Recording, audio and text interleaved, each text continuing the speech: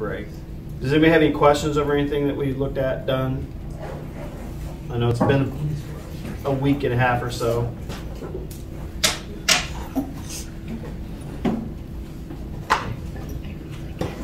Okay, so get out the documents in Drive dealing with kinetics of crystal violet.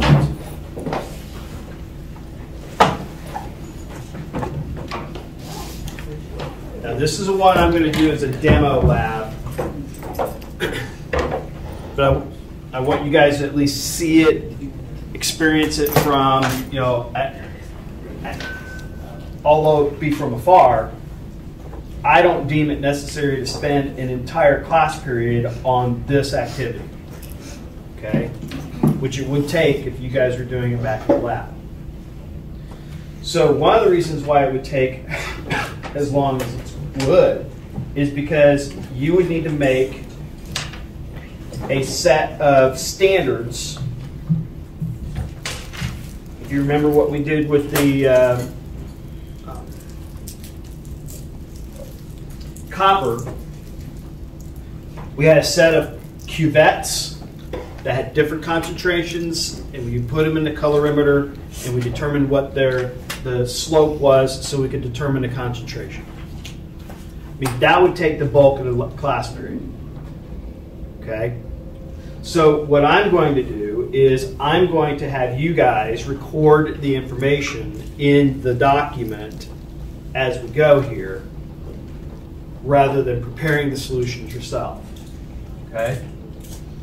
So I've got this, that's kind of blurry, but that's just probably because it's bright. All right. So I'm going to go through and uh, I've got the thing set. We're going to calibrate it.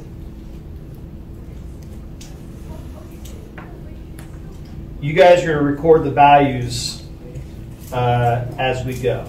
Okay, so here is the pure.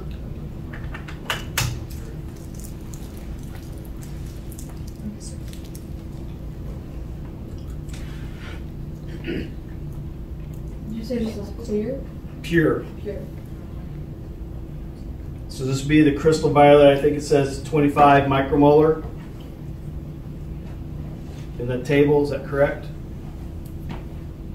Got a funny looking U thing in front of it.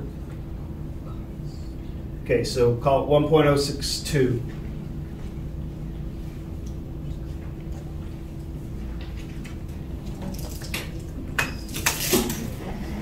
Now this time around, because I'm going to be doing it, I'm going to go ahead and calibrate it in between each time. So this is going to be the 40 milliliter.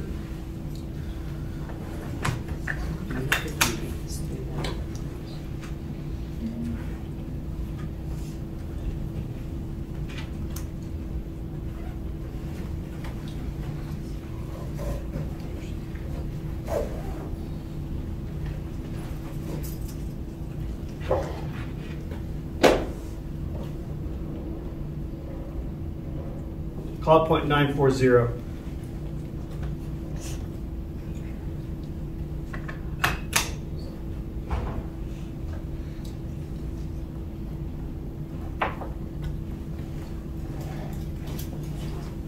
This is going to be 35 milliliter.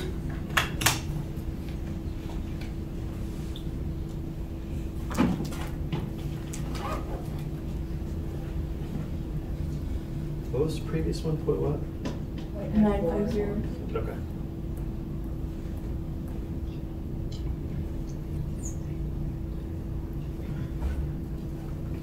1,921.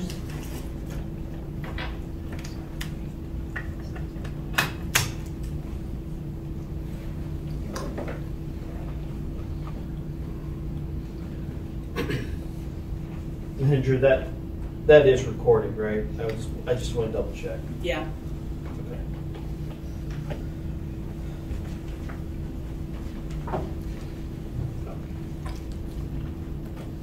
This is a 0.30 or 30, 30 milliliter.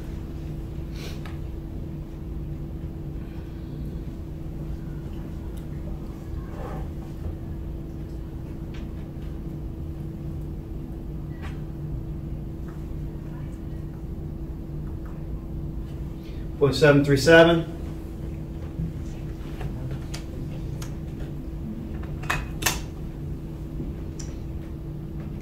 Next one's twenty-five, is that right? Okay,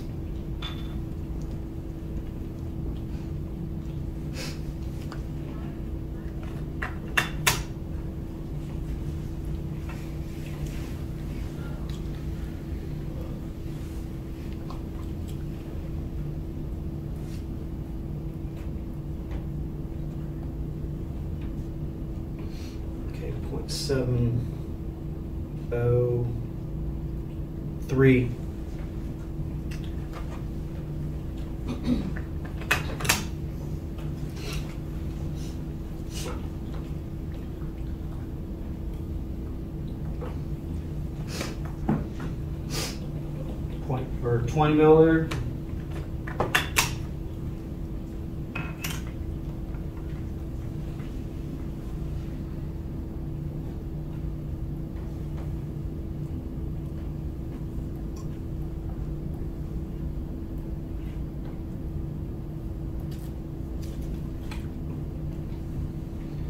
Five three seven.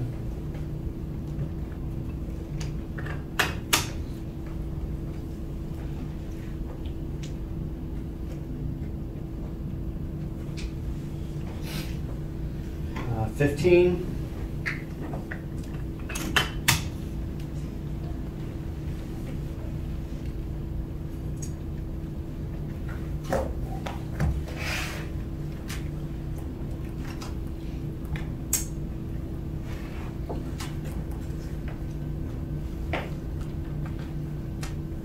Point three seven one.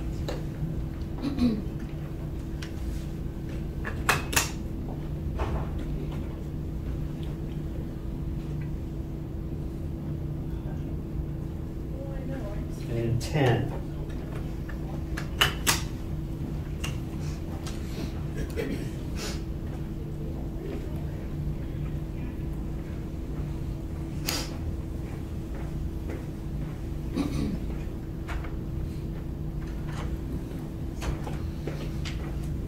One, two, three, four.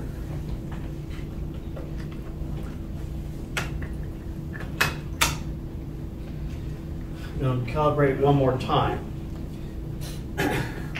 Now,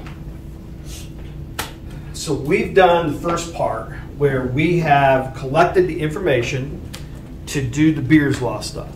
We can go through now, plug those numbers into your calculator, do the linear regression, get the slope. Okay? We'll do that in a bit. So the next part of the procedures is to run the experiment. Now the reaction that we are going to do is we're going to use a compound called crystal violet. It's it changes color based on pH. It's that purplish compound. It doesn't look as pretty in here as it does in this. Okay? we are going to react it with hydroxide ions to produce um, crystal violet, or I guess you'd say CVOH.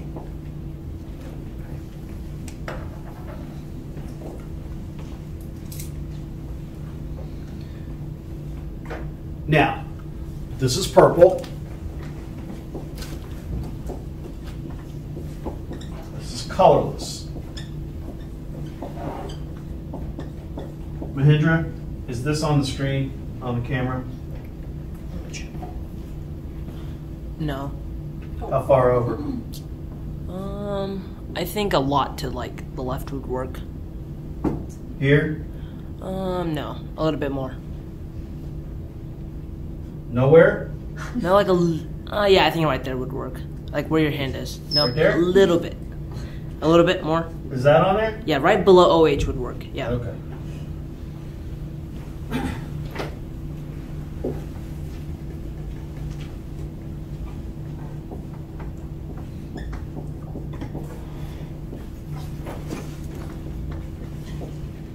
Good enough. So what we can do is we can measure how the concentration is going to change over time by using colorimeter. We get the reaction started in a beaker.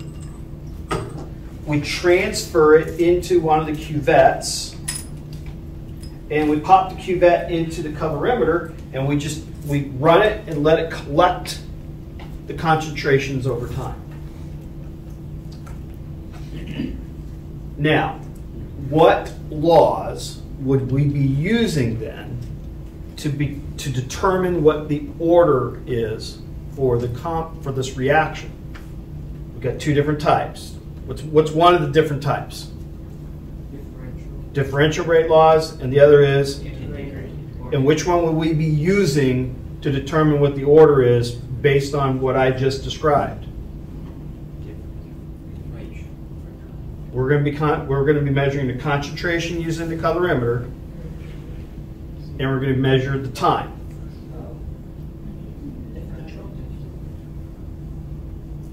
Integrated. Mm-hmm. Integrated. The integrated rate laws are time and concentration. Look at the back of your periodic tables again. I know it's been a while. Okay.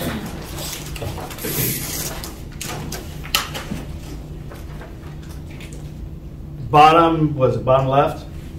Is that where they are? Yeah. You got the three of them. Or actually, there's four equations, correct?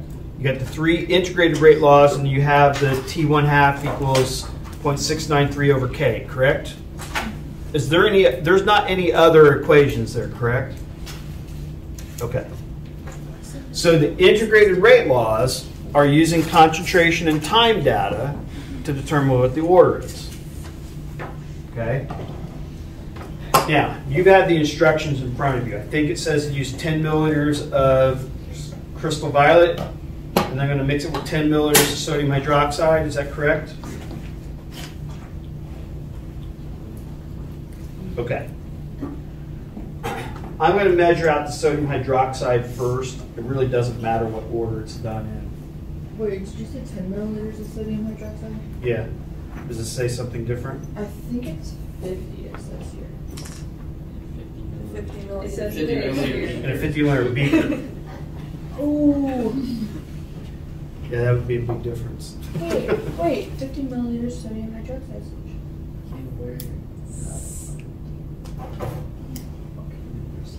Got it, got it. Got it? Yep, got it. Thank 10 you. milliliters, right? Yep, yep. Okay. Just making sure. Got it. Send it in. Since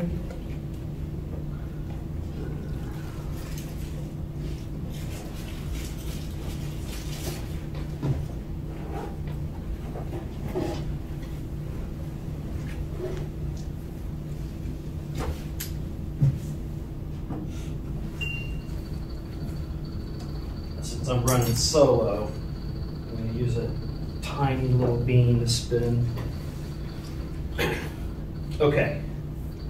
I do need someone up here to start this. Can you help me out?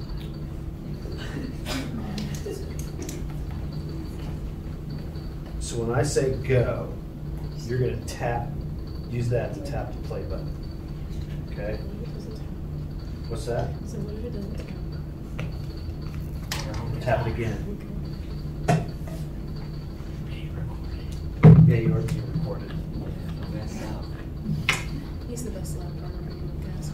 I know. You've said that several times. He's great. Chose to sit next to him. That's on you. All right, you ready? Go. Perfect. Thank you very much.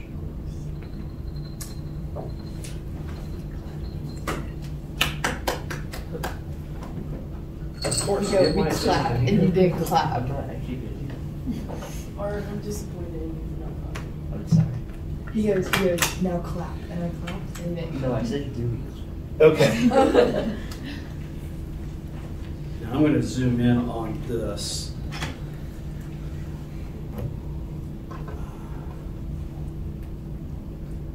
Is that as far as, come on, there we go. Now,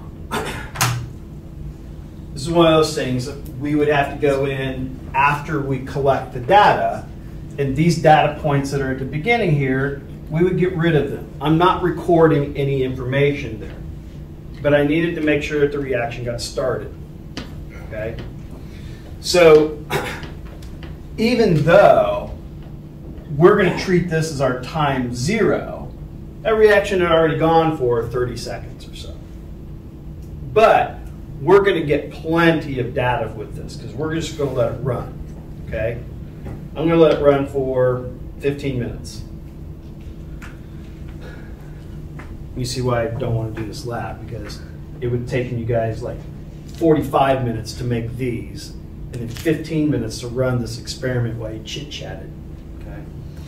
So, but you can see what's happening.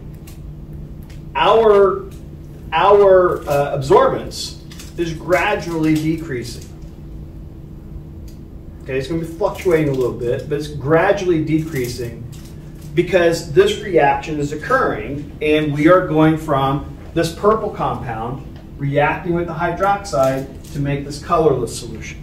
So the concentration of our purple compound is decreasing.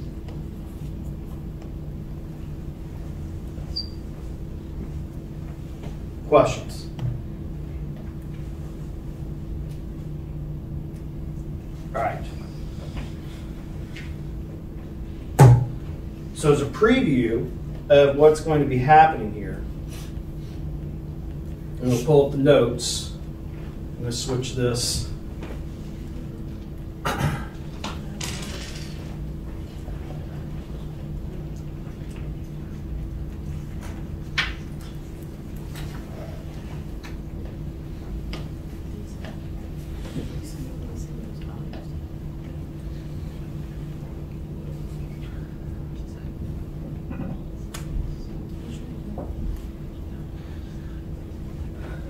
So go back to the uh, Haley-Riggs data that we did with the, um, that did many years ago with the radiation.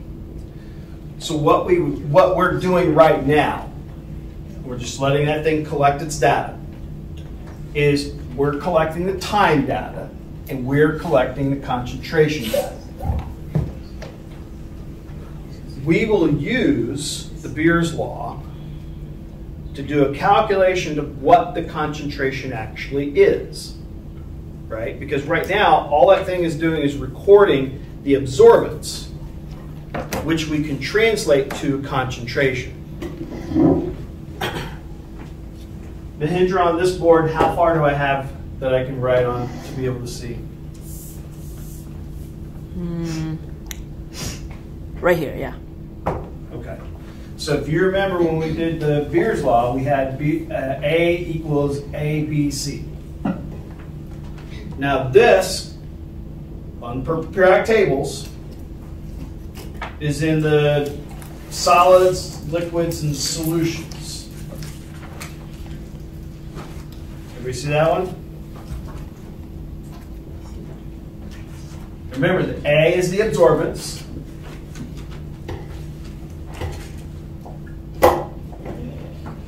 The, I guess she's the big A. The small a is your slope or the absorptivity constant. I'm just going to say slope.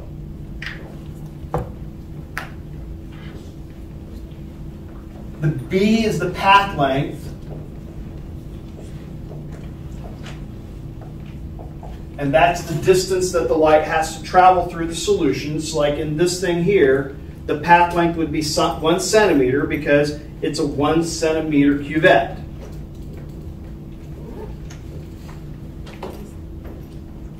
And C is the concentration, measured in moles per liter.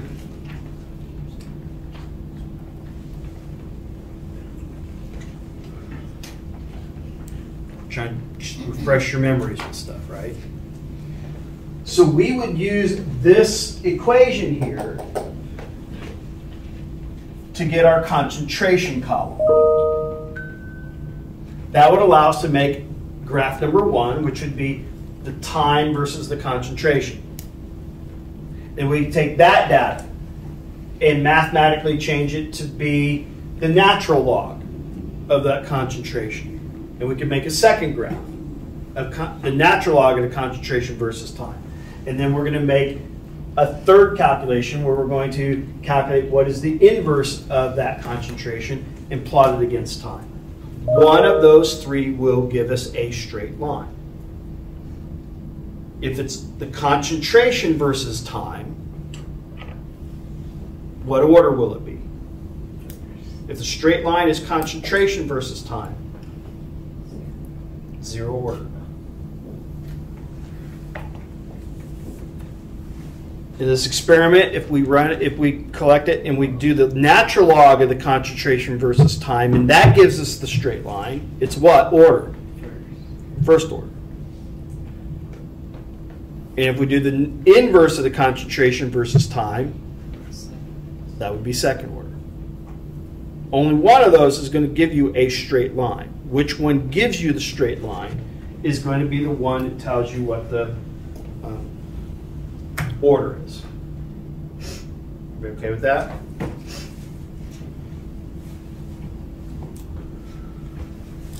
Okay. I'm going to pause here to say, does anybody have any questions? Again, anything I've said that like brought up a question that you've had, stuff that you looked at? Taylor? So how did we know that her experiment was in first order? This one? Mm-hmm. So we look at this graph here. This is the graph of the concentration versus time. And we can see that our data, especially here, looks Oh, I curvy. didn't see the dots. Yeah, they're hard I to was see. just like, they're just lines, I was confused. Hmm. And it's this one that gave us a, the, they're not straight line. It's experimental data. Remember, I'm holding a Geiger, in this case, I was holding a Geiger counter up to a girl's neck, okay? But we're getting data well enough to tell us that this was a first order process. Our data that we're collecting from this is gonna look similar. Oh, crying out loud. Hold on. No, it's not Savannah. That's me. This is all me. I forgot to change the time length. It only ran for 300 seconds. Five minutes. Not enough time. Ah, Okay, crap.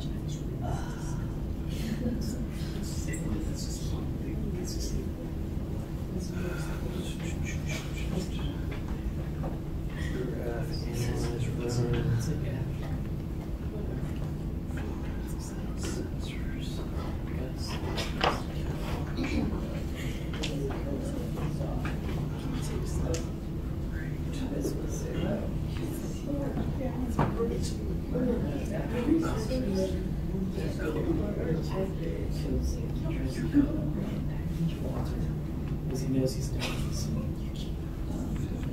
Jim Sutton's. What's his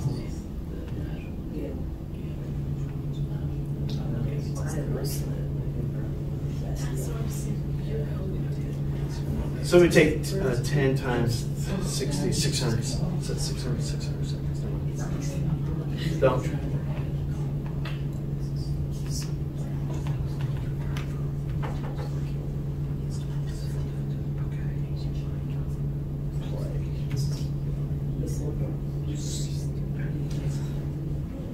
Oh, a pen. Nah, I don't want a pen. I'll change it later. Okay.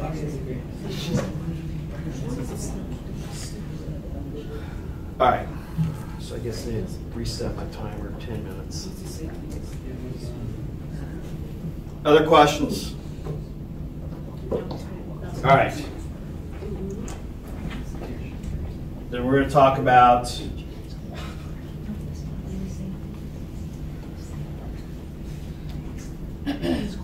we talked about catalysts, right?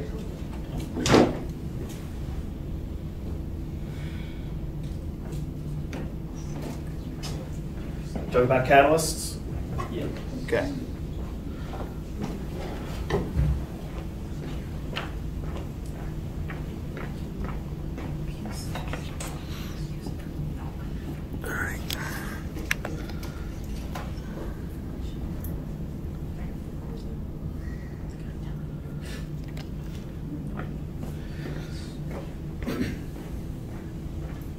Okay, so energy diagram, potential energy, time on the, or uh, potential energy on the x, y-axis, time on the x-axis. the peaks and valleys tell you, or basically showing you what steps there are. Remember how we counted the number of peaks to determine how many steps. Okay? So in this one here, as a reminder again, to do a quick review, here's our reactants. These are our products. The red line represents that that reaction is occurring in one single step. The blue line is representing a catalyzed reaction, and that catalyzed reaction is occurring in two separate steps. Even though it's occurring in two separate steps, the blue represents a faster reaction because the amount of energy required for the reaction to take place is significantly smaller than what the reaction that's uncatalyzed takes. It may seem counterintuitive. You have more steps, it's going to take time. No. In this case, the time it's going to take is going to be dependent upon how much energy is required to get past a certain point. Same thing's happening down here. Whatever imaginary reaction this is, the red represents a single step reaction. The blue represents a, looks like a three step process. Notice though, that in the catalyzed and uncatalyzed reactions, the reactions start at the same potential energy and they end at the same potential energy. So the enthalpy change the enthalpy change will be the same whether it's catalyzed or uncatalyzed. Think of this as kind of like the Hess's law thing. It doesn't matter where you start, or, or it doesn't matter how the reaction takes place. All that matters is where did you start and where do you end. Different pathways. They're giving you the same result. It's just what's happening in between the beginning and the end that's different. Okay? Questions?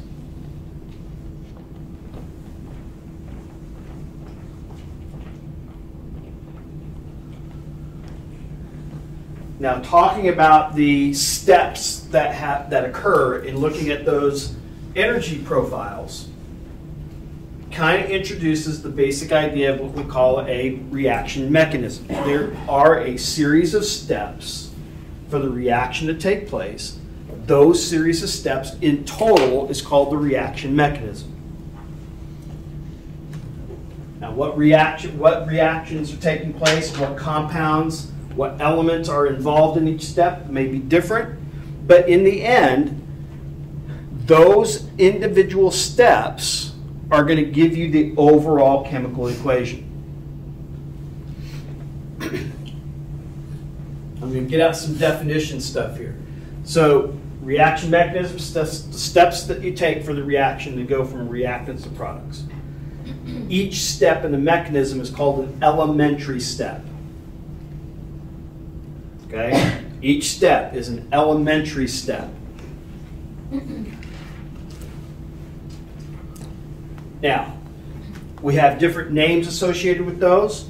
Unimolecular, that would be one molecule just breaking apart.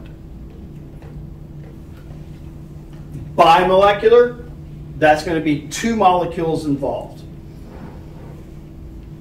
Termolecular is going to be three molecules involved. Now, in terms of the termolecular, I don't know that my, my, saying it's very rare is uh, correct. It, these tend to be slow reactions because to get three molecules to collide all at the same time is not an easy thing to do. In terms of the number of particles colliding at any one time, it's pretty easy to get two molecules to collide. It's getting three molecules to collide at the same time, it's a little bit challenging. So, but we also have other criteria. We've got them to, we need them to collide, but what else do we need? Orientation. We need orientation and we need the energy. So remember, this goes back to the very first lecture. For our reactions to take place, you have to have a collision. That collision has to have enough energy, and the collision has to be in the right orientation. Those are your three criteria. There really isn't a collision if it's just a decomposition where you have molecules just falling apart. But if you got a collision between two molecules, okay, now you've got to have the right amount of energy and you have to right, have the have right, right orientation for those two. This is what makes termolecular reactions well, fairly slow. Because you have to get three molecules to collide, but they all have to be in the right orientation and have the correct amount of energy. Now, the react this this kind of goes to talking about Hess's law here. The mechanism must match the overall balanced equation and match the rate law determined experimentally. Let me talk about the first part here. So let's say that I had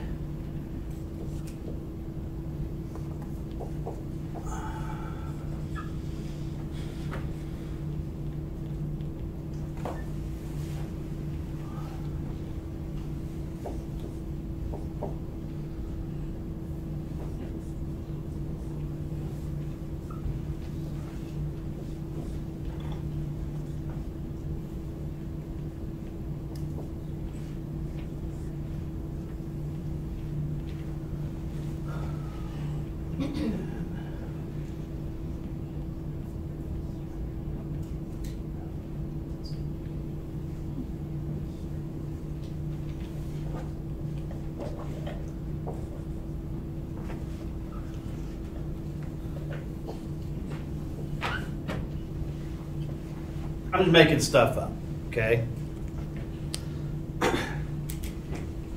If this is step one, if this is step two, if this is step three, this would be my mechanism.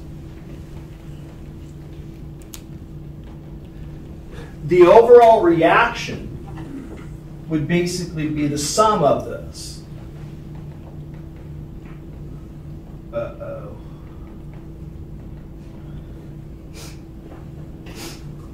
Yeah. What would the sum of this equal? If we go through and cancel the things that are same on both sides, if we go through and add the th- things that are same on one side, let's start off by what cancels. What's going to cancel in this? XY cancels. Does anything else cancel? Why? Y, but it doesn't cancel completely, right?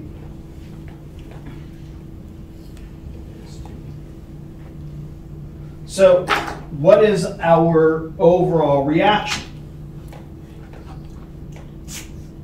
If I were to write out the chemical equation for this as an overall equa- or overall reaction, what would it be? 2x plus a plus it's going to give us x squared.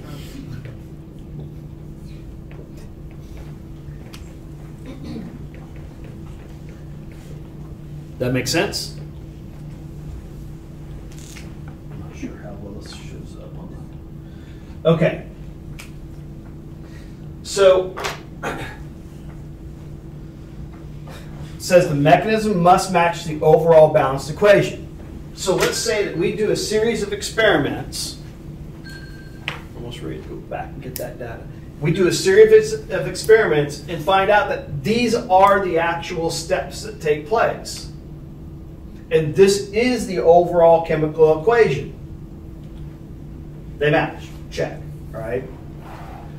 If these did not add up to give us this, then that wouldn't be the correct mechanism, right? There'd have to be something else going on.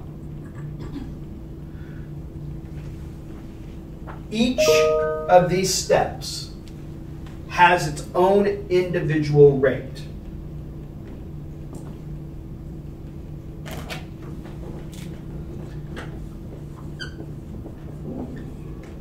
Now the rate of step one, and this is a differential rate law, would be as follows. It would be first order with x and first order with y. And we don't have to do any kind of experiments to determine that.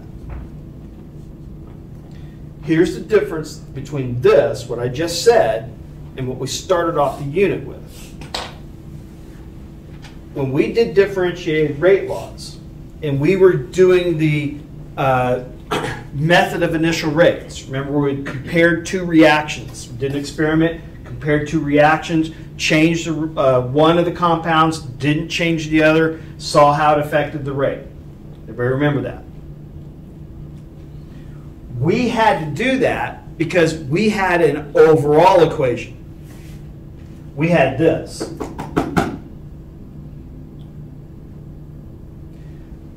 In our mechanism, each step is called an elementary step.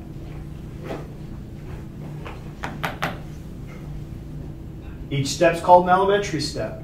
And each step, the rate law, the exponents in the rate law are the coefficients of the reactants from the reaction. Now, make sure you're crystally clear about this. We cannot look at this and say what the order of X is going to be. We can't say, look at this and say, what's the order of A? We can't look at this and say, what's the order of Y? Because this is an overall equation. But if these are elementary steps and these individual steps, we can say that the order of x in this is first because the coefficient is 1. Cannot do that down here. Okay? The rate for the rate law for experiment 2 would be x times xy.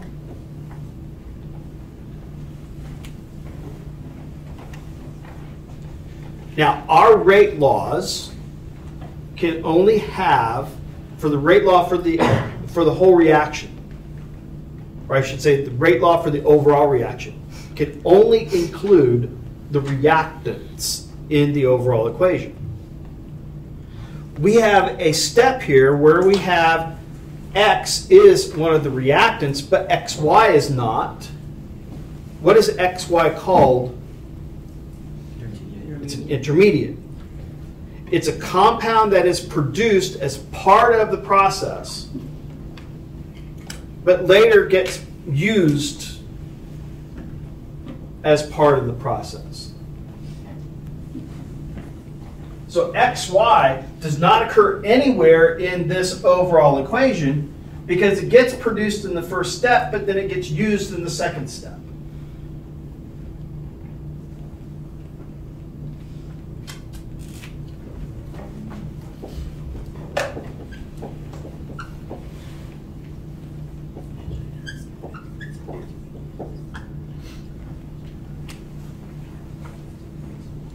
Is everybody okay with how I've written out the rate laws for each of the individual steps?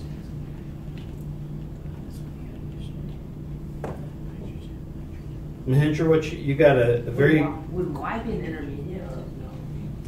so an intermediate is something that gets produced as part of the as part of the mechanism. And so this compound XY is getting produced, but then in this step here, it's getting consumed again. Why it doesn't show up in this equation, because it's going to cancel out. Now,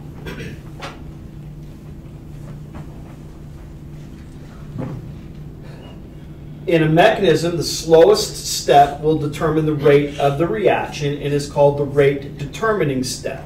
We kind of already talked about this, right? We looked at it with the with the uh, energy profiles. So if we go back and we look at this one and said, this is going to be the rate determining step because it requires the most amount of energy for the reaction to take place.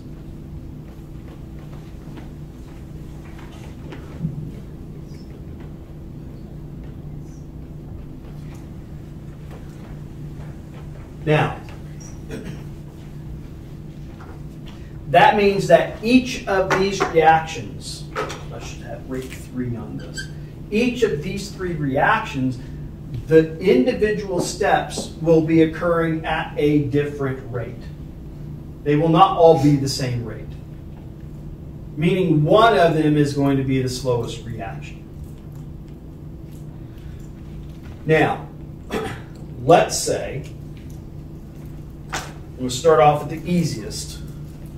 Let's say that this is the slow step.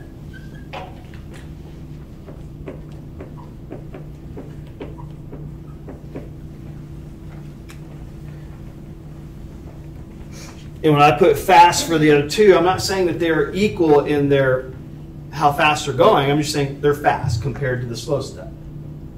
One step is going to be slower than all the others. That slow step determines the rate of the reaction. That slow step also determines the rate law. And that's why this is the easiest question you could ever have asked. If the slow step is the first step, this is the rate law for the reaction.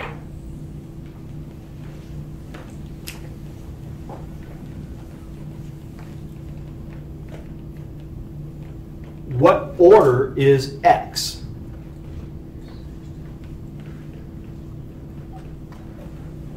First order. What order is Y? First order. What order is A? Zero. Because where is A not? It's not in this first step, is it? So think of this way. We could add more of compound A, correct? And if we did, that would make this third step go faster. Because if we increase the amount of A, we're going to make this rate go faster.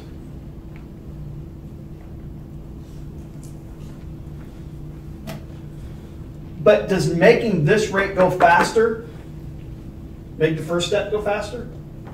No. So if a compound or a reactant occurs after the slow step, it automatically is going to be zero order. Use your feedback. If a compound or reactant occurs after the slow step, it has to be zero order.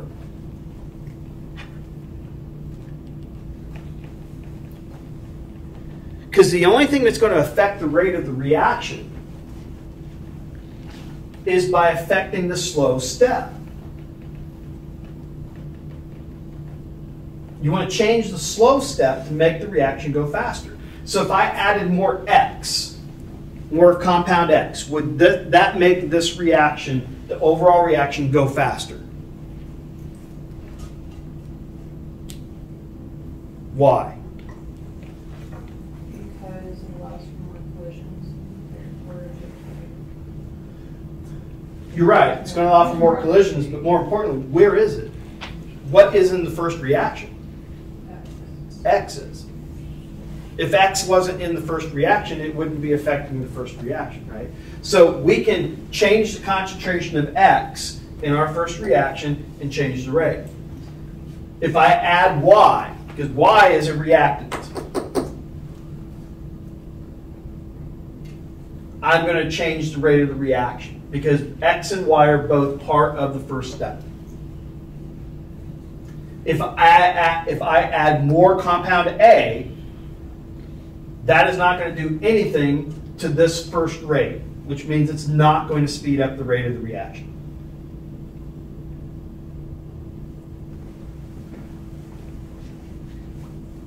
Now I'm going to bring it back to the very first day when we were doing differentiated rate laws. Notice that in this, the overall equation, x has a coefficient of 2. But what is the order for x in this reaction? It's first. That's why you cannot look at an overall equation and say what the order is based on the coefficients. But you can for the individual steps. Just- How did you know that they're in first order? Like that X and Y are in first order? Because that's, that's, that's, that's true of elementary steps. Whatever the coefficient is, that is the order for that compound in the element, in the elementary step.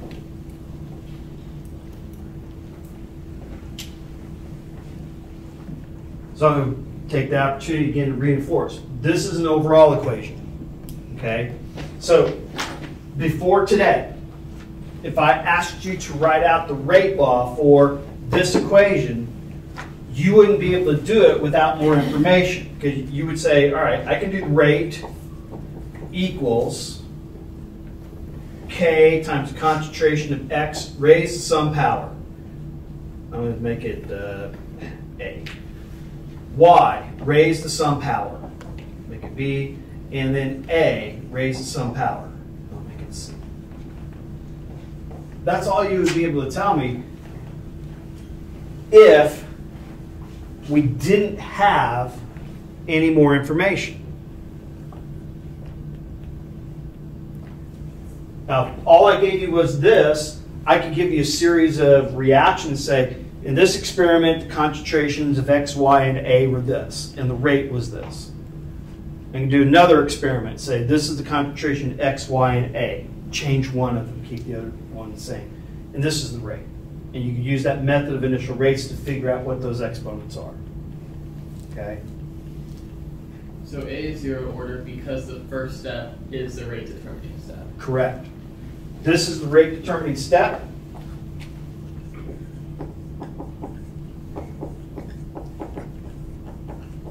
And the rate determining step, the rate law for it is the rate law for the reaction overall.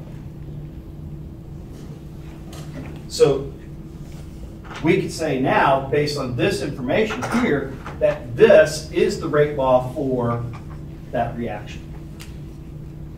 So if like, what if step, like hypothetically, if step three was the rate determining step, then would like X be a zero order? Oh, no, X would be at least the second order, because X, so what would happen is, if you added X, it would make, if this was the slow step, adding X makes both of these reactions go faster. So adding X is going to be, you know, it, it's not just you're changing it for this reaction, you're changing it for this reaction as well. It gets complex when you get further down in the steps and your rate determining steps down here. That's why I said, I'm going to start off with the easy one. This is the easiest one. If your, if your first step is the rate determining step, then your rate law is that step's rate law. Okay? The furthest I've seen on the AP exam go is where they have the second step be the slow step. Now, I'm going to give you a really rough, not 100% way of doing the rate law if it's a second step. So I'm going to reset somewhat here. Say, okay. The first step's not the slow step, the second step is. Now, what they'll say is this is the first step's a fast equilibrium. Which means what happens is, is that this first step is producing a compound that's required for the second step, right? So what happens is you get a buildup of this, and it gets produced faster than it can get used up here. And you get to what's called an equilibrium. Now,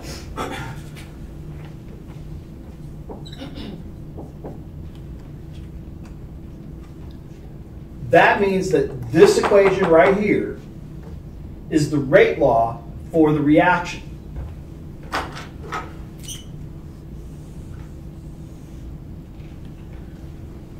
What's the problem with that rate law being the rate law for the reaction overall? Steiner? It's because of the xy. It's because of the xy. What's the only thing that can be in your rate laws? The reactants from what? The overall equation. Now, this is the rate law for this reaction here. The problem is that it has XY in it. The only things we can have in our rate law are X, A, and Y. We can already say right now, what is A's order going to be? Zero. Zero, because it's after the slow step. Okay, so let me tell you another thing. So, in terms of a zero order, if the compound comes after the slow step, it's zero order. If a compound occurs before or in the slow step, it must be zero, or one or second order.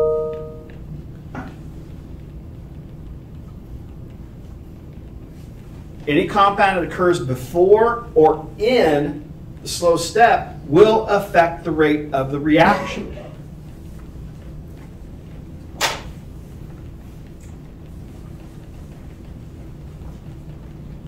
Did you say first or second? Yeah, because the only choices we have for in, in this in this course are going to be zero, first, and second order.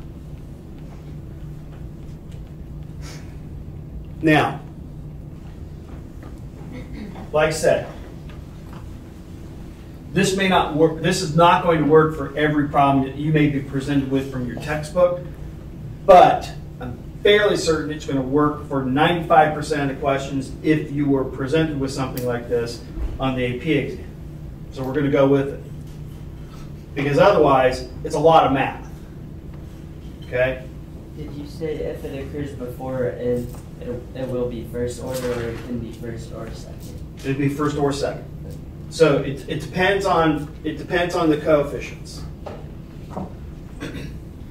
Now, so we've already said that A is going to be zero order.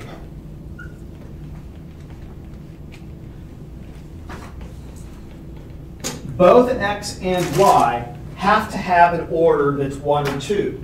Why? Because they are, Y occurs before this reaction, and X occurs in both, right? And here's the thing. If I make this reaction go faster, I'm going to produce more and more of this, right?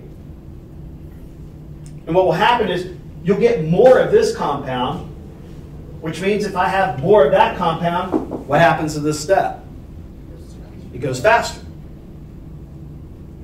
So if you produce this compound at a faster rate, it is going to make the second reaction go faster. So steps prior to the slow step can make the slow step faster. Or will, I should say, steps prior to the slow step will affect the slow step. Steps after the slow step will not affect the slow step.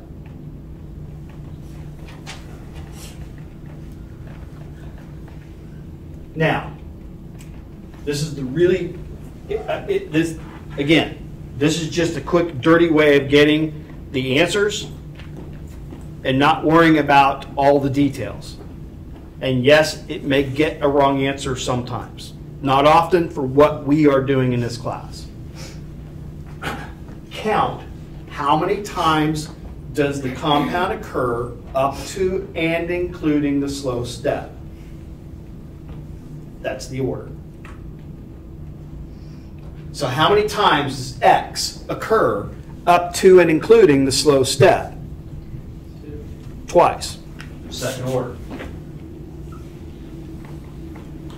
How many times does Y occur up to and including the slow step? Once. First order. That's it.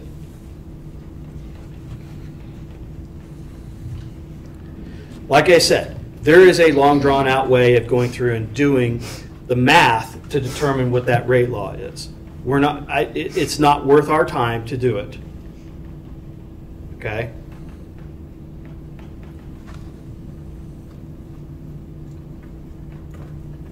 Questions?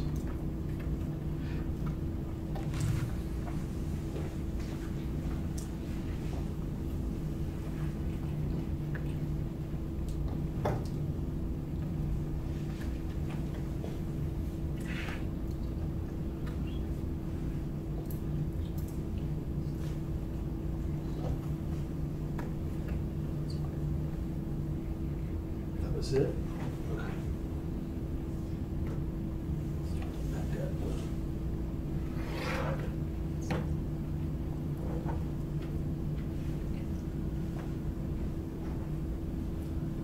We'll Look at those next time, on Friday.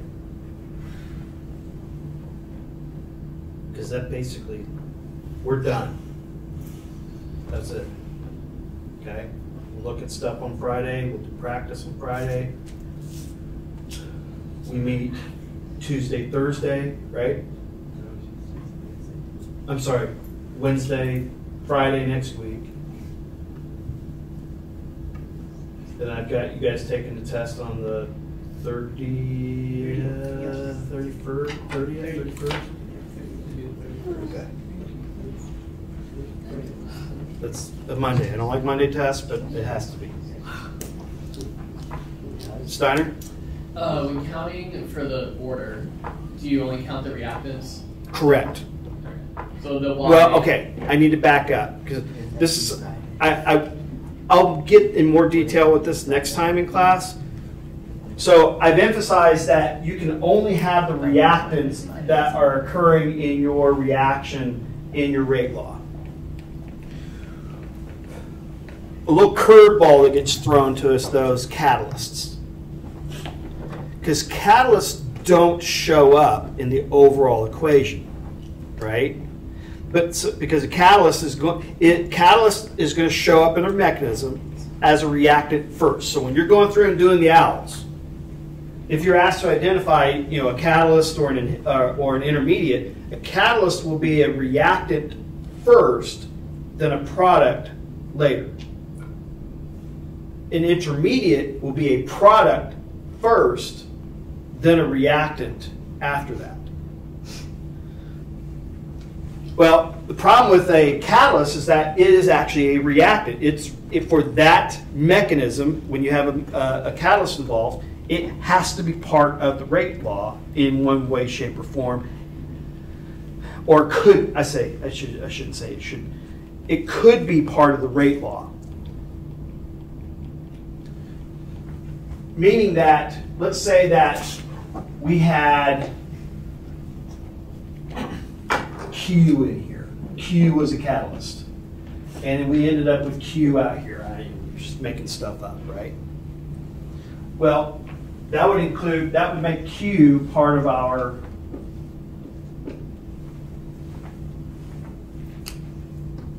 and Q wouldn't get canceled out until later on. Q has to show up in our rate law. It doesn't show up in overall, but we could. Sometimes you, you can write Q plus Q. I know it doesn't look like it makes sense, but that's correct because you have a catalyst, you're going to end it up as a product. So you can only have reactants that are part of your overall equation, and even though the catalyst doesn't show up in your overall equation, it can still show up in your rate law because it is a reactant in your overall equation. Okay. Okay? It's one of those things just weird. All right.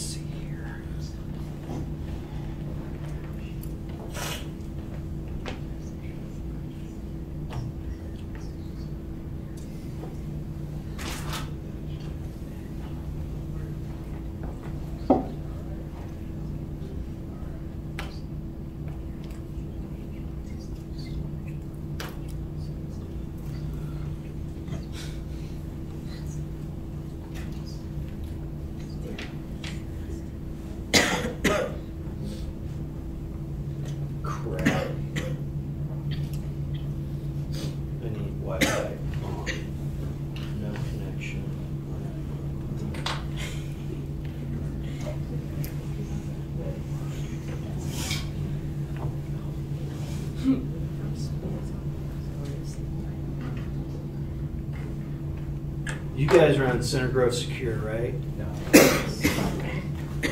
You should be. They like tell us that we're not supposed to. No, you're supposed to be on Center Grove Secure. Every t- other teacher told They're idiots. Yeah, that makes a lot of sense. You're supposed to be on Center Grove Secure. To. Non, non-school stuff is supposed to be on just Secure. So if you got, if you got your own personal iPad, yeah, you're on Center Grove.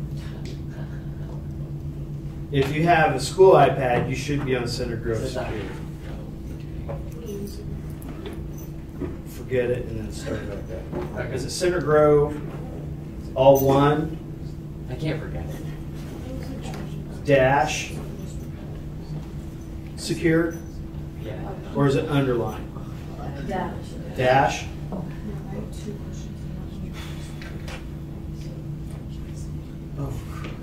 Here we go. Dash.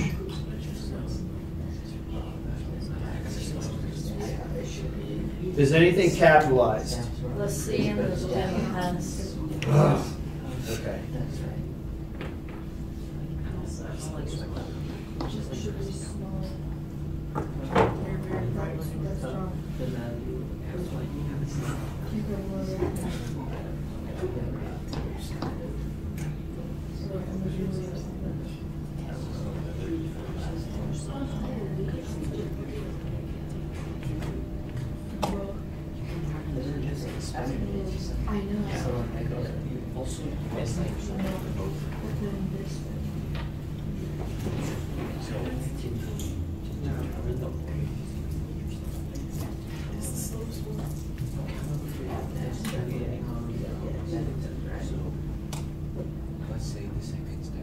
Well, that just sucks. Let's say the second step is. There's two x's, so x is.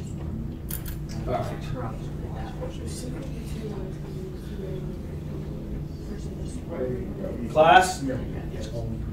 I'm gonna have to lie to you a little bit. I'm sorry. I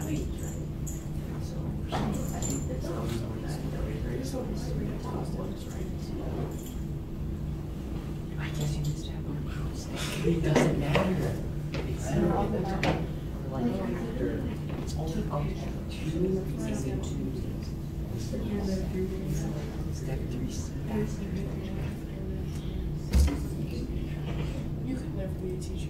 Oh, yeah, I was just, yeah. You can never be in high school. You're more mature. Why, you can't deal with idiots all day long?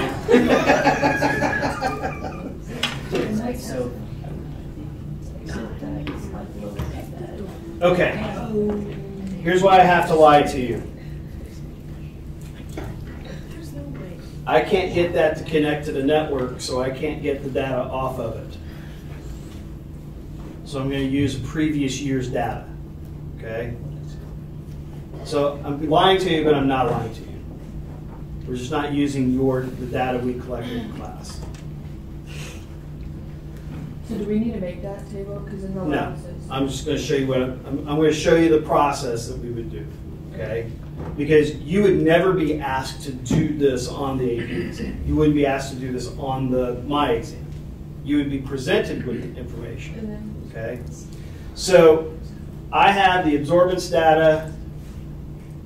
We will use your do a linear regression of the uh, beer the Beer's law stuff. Got your calculators, plug those values in, tell me what the do the linear regression, and tell me what your slope is.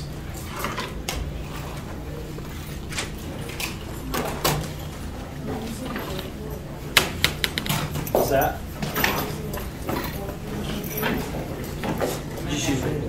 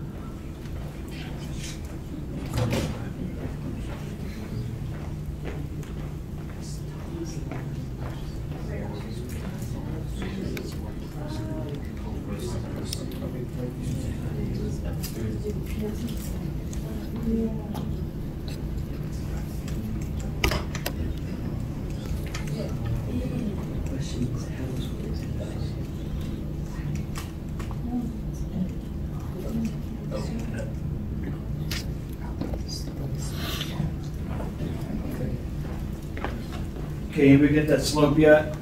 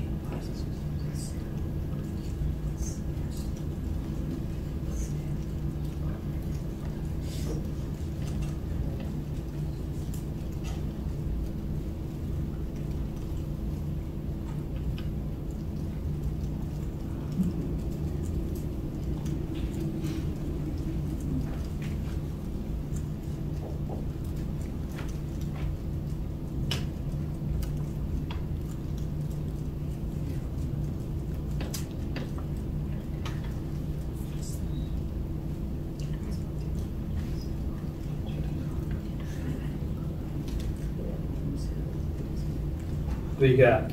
We were supposed to, we were supposed to do that too, right? Like, you were supposed to put that information. You know what? Okay, hold on.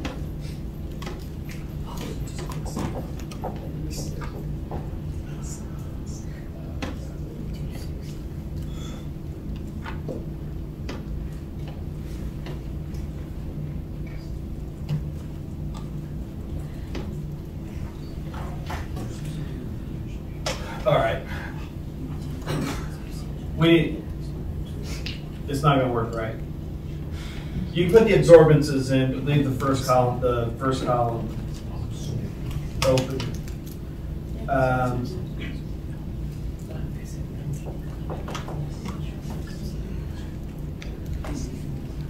So your original molarity is twenty-five, forty.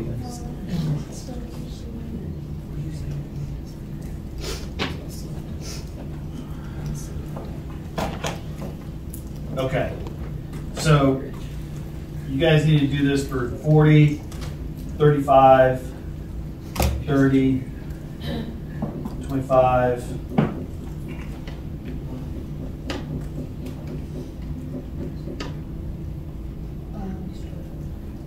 Twenty, fifteen, and then ten.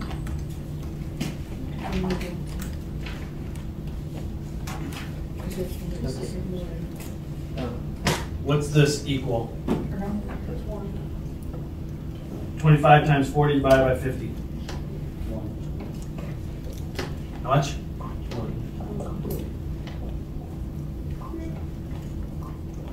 This one's gonna be, so twenty-five times thirty-five divided by fifty. So that's gonna be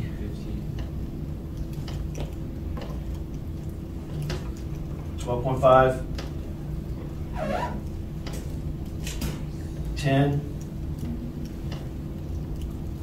five. Ten. Seven point five. Is that right?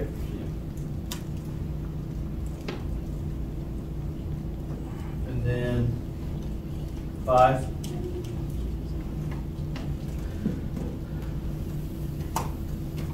So in your calculator,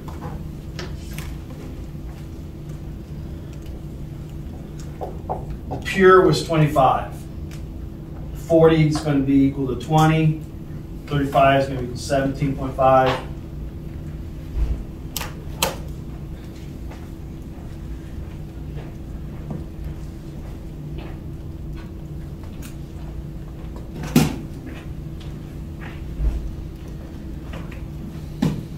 So what is the absorbance 25? 25,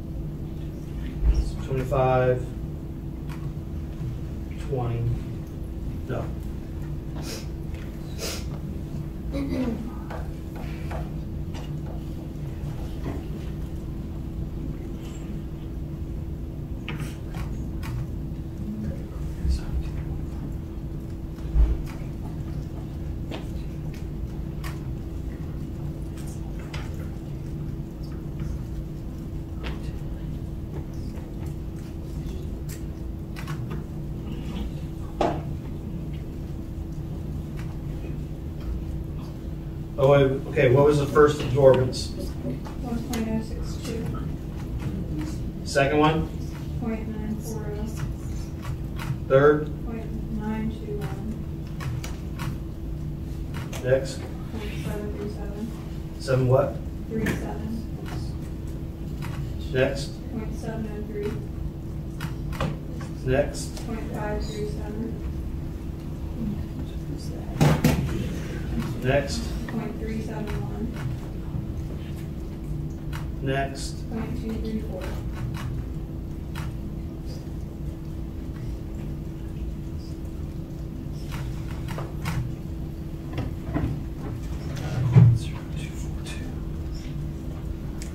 Okay. So our slope is point zero.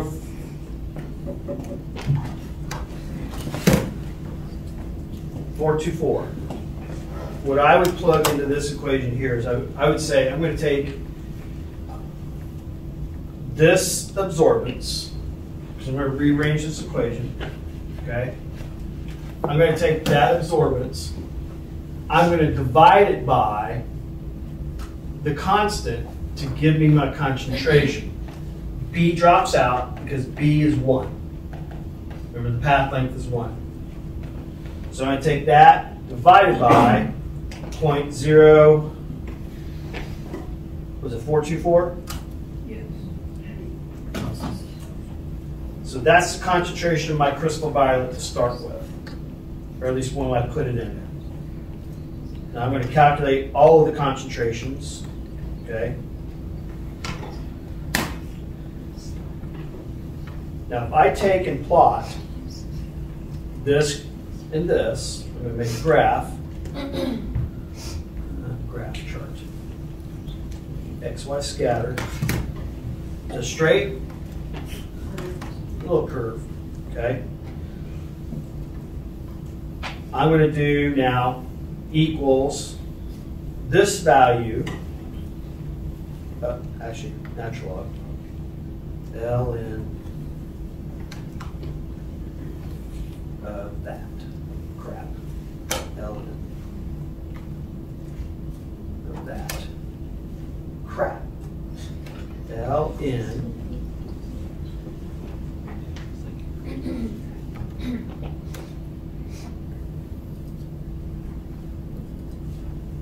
No.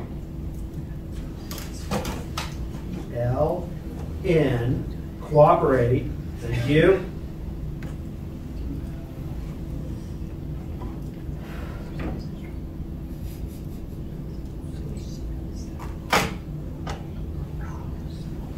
Now, if I take and make a graph of those two, straight, straighter, right? So we can say that it is not what? This was concentration and time. It's not what? We can say the natural log in time is first order. Now let's make, well, we're going to do the last one and make a comparison because you never know. Equals 1 divided by this. Calculate them out. So we did this and this chart. Hey, there we go. Perfect. So what order is it? First order for the crystal violet. Because we measured the change in the concentration of the crystal violet. What didn't we measure the change in the concentration of? Uh, OH, okay? Now, there's a way of going through and determining what that is using, we'd have to run a second experiment. I'm not going to do that, but I want you guys to see how you would do this. Okay? Doing it this way saved me literally two days. A day of doing it, and then a day of explaining how to set it up on your iPads to do all those calculations, right?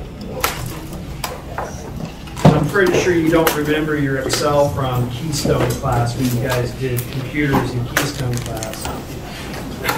Although those of you who have done computer business applications probably do this in a breeze.